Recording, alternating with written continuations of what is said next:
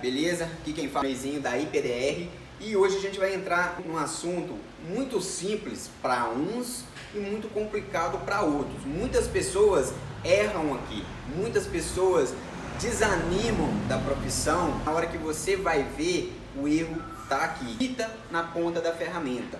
Como passar e por que passar?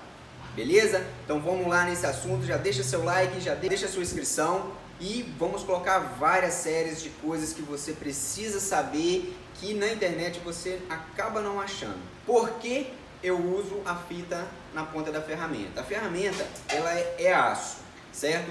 A lata do carro ela é aço, é alumínio.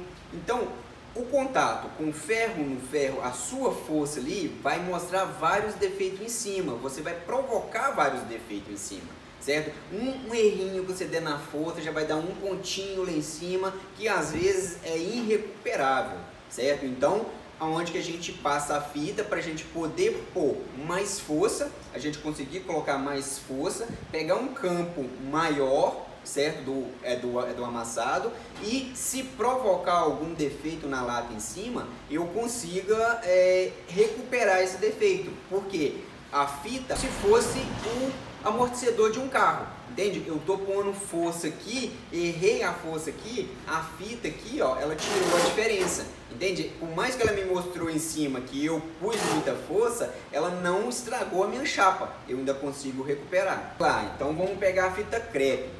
Isso aqui é uma fita crepe de boa qualidade, certo? Pegar a mais barata que tiver no mercado, ela vai funcionar. E vai ser ruim é o seguinte, na hora que você for enrolar, que você for puxar, ela vai arrebentar certo? Aí ela vai arrebentar, aí você vai pôr de novo e vai virar aquela, aquela mexida. Então, quando você trabalha com a fita com mais qualidade, você passa menos, você tem menos estresse e tem muita mais velocidade no que você vai fazer. Então, você colocou, certo? E você vai puxar ela e ela não vai arrebentar, enquanto a outra, hora que você fez assim, ela já a gente é, fala sobre esparadapo, aqueles esparadapo branco, certo?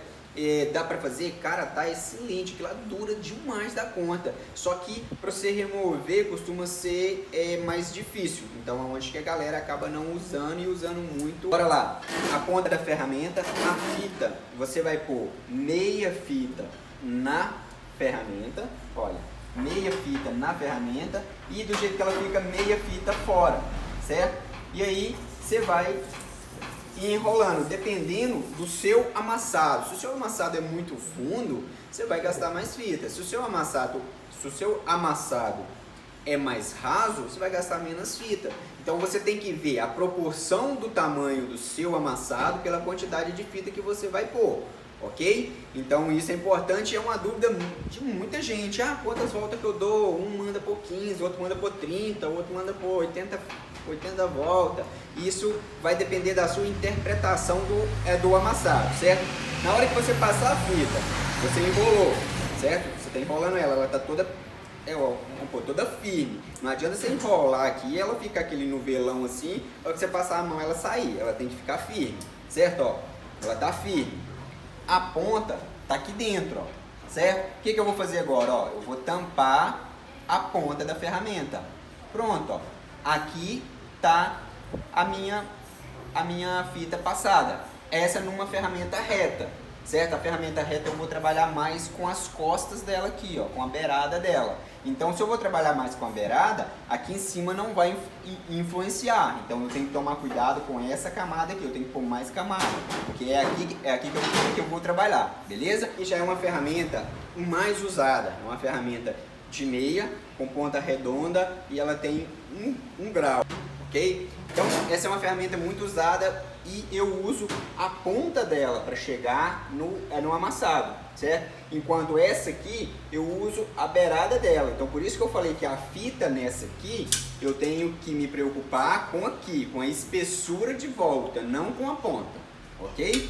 E essa aqui eu já tenho que me, me importar com a ponta. Então, meia fita, ó, passei. Vamos supor que meu amassado seja uma mocinha pequena, mas profunda. Aí eu vou colocar mais fita, certo? Ó, aqui está a ponta aqui dentro. Dobrei, ó. ó.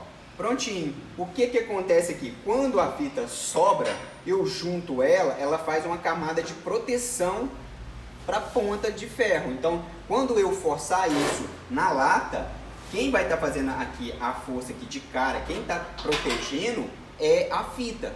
Por isso existe as ferramentas com ponta de nylon, porque o nylon ele não machuca a, a lata, já o ferro já machuca, já é um, um, um defeito que você não consiga recuperar, beleza? Então, você fez isso aqui, você vai começar a fazer seu amassado. Na medida que você está fazendo seu amassado, você está vendo que ele está ficando limpo, não tem defeito nenhum.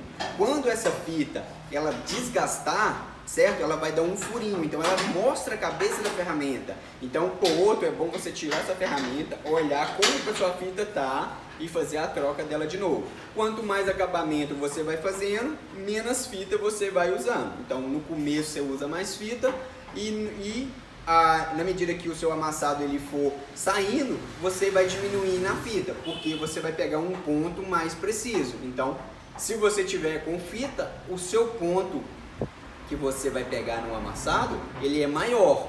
Então, se você está fazendo um acabamento, você está pegando em volta dele também. Então, você tem que tirar a fita ou diminuir a espessura da ferramenta. Beleza? Tem diversas fitas, como eu falei aí no começo. Tem fita isolante, fita crepe, fita de pano. Qual que é melhor, qual que é pior, certo? Isso cada um vai ter a sua, a, a sua base certo? As de pano, a vantagem das de pano é que elas duram bem mais, entende? Então você faz um serviço com mais, é, você troca a fita da ponta da ferramenta, beleza? Então, olha para você ver, ó, mesma coisa, certo? Ó, vou trabalhar com as costas dela e ela vai durar mais, muito mais do que a fita crepe.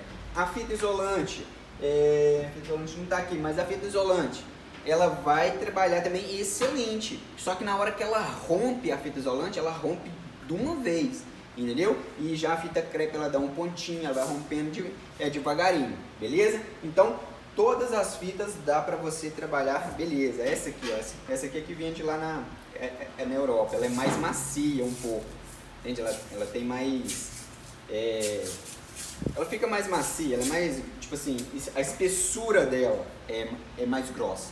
Entendeu? Então ela fica tipo um cotonete mesmo, ó.